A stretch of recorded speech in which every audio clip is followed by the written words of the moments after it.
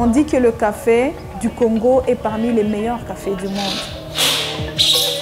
Le café était la deuxième produit d'exportation après le cuivre.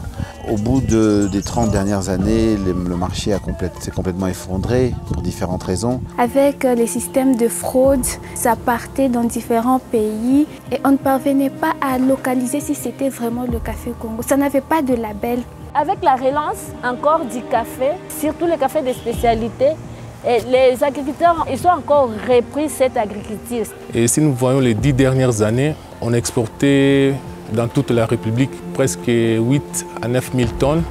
Mais pour le moment, il y a une augmentation. Nous sommes arrivés presque à 11 12 000, c'est déjà quelque chose. Les acheteurs, jusqu'à maintenant, sur le plan mondial, ils n'ont pas encore su que réellement au Congo, il y a une bonne production de café de spécialité et de bonne qualité. Il y a encore des résistances. Je pense que le grand challenge, c'est la visibilité, c'est l'accès à l'information. Il nous a semblé nécessaire de pouvoir remettre le café congolais sur la carte au niveau du marché international, mais aussi de mettre un peu plus de transparence dans le secteur à travers euh, cet atlas du café.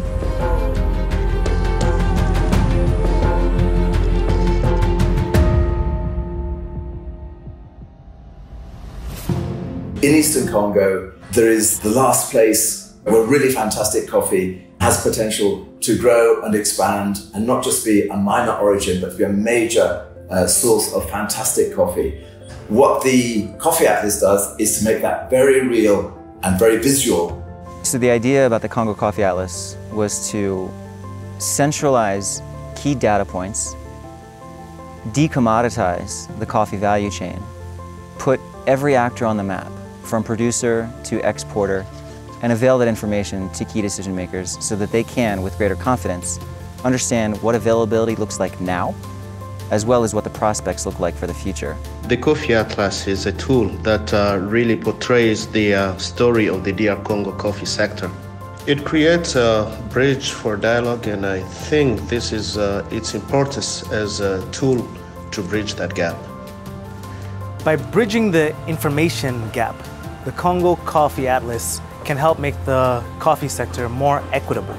Uh, this is an opportunity for women to be uh, more heard in uh, the discourse around uh, coffee production as well as coffee processing.